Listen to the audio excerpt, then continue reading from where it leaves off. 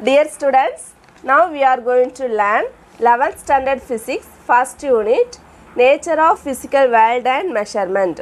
The topic is errors in measurement. This one is given in page number 20. First, what is mean by error? The uncertainty in a measurement is called error.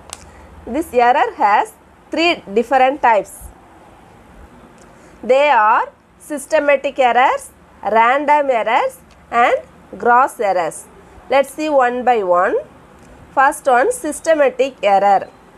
These error occur due to some limitation within the system. If someone using a measuring scale for long time, the end of measuring scale may worn out. Due to this, instrumental error occurs. Personal errors. These errors occurs due to incorrect initial setting up of the experiment. External causes. This error occurs due to change in atmosphere. For example, change in temperature, humidity and pressure. Least count error. It is the smallest value that can be measured by the instrument.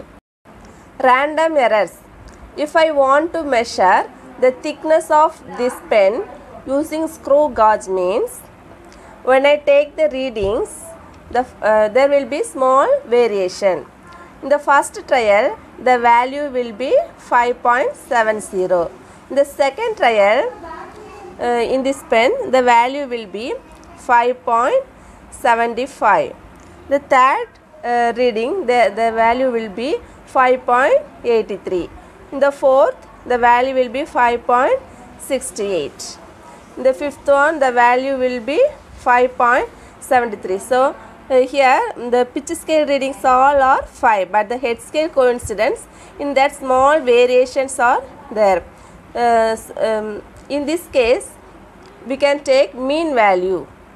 Mean is equal to how can we find mean value add these five numbers? 5.70 plus 5.75 plus 5.83 plus 5.68 plus 5.73 divided by here 5 numbers. So total number of trials 5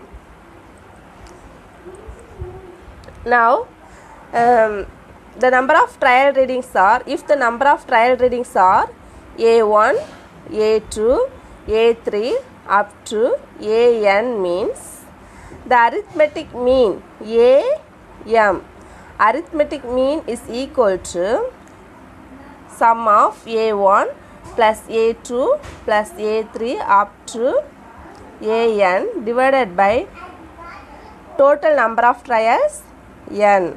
Or this we can write as am equal to here uh, in the denominator n. So 1 by n summation summation of i is equal to i is the integer integer value varies from 1 to n so 1 to n ai